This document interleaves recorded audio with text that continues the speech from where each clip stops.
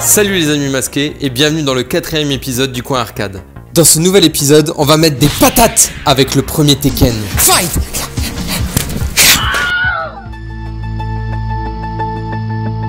Hadouken Power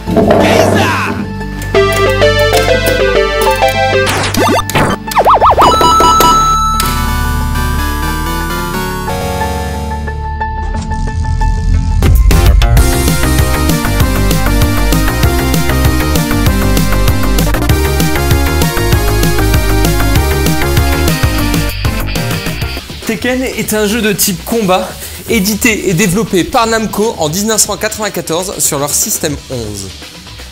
Tekken est l'un des premiers jeux en 3D, ce qui installe sa réputation.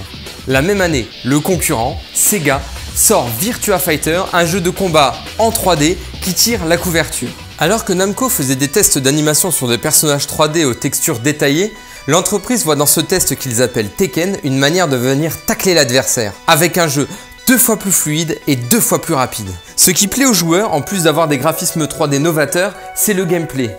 Un bouton pour le coup de poing droit, un bouton pour le coup de poing gauche, un bouton pour le coup de pied droit et un bouton pour le coup de pied gauche. Comme la plupart du temps en arcade, le scénario est assez simple.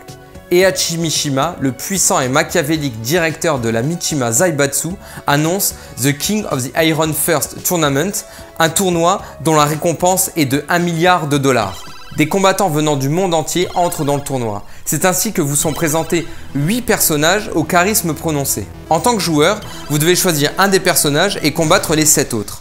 Au 8 stage, vous devez combattre votre alter ego. Et au 9 stage, vous devez battre le boss absolu, Heihachi Mishima. A chaque fois que vous finissez les 9 stages avec un personnage, vous débloquez votre alter ego ainsi qu'une magnifique vidéo qui permet de donner du background, une histoire à chaque personnage. Bon allez, je vous laisse, j'ai un test à faire sur l'IRL Vortex.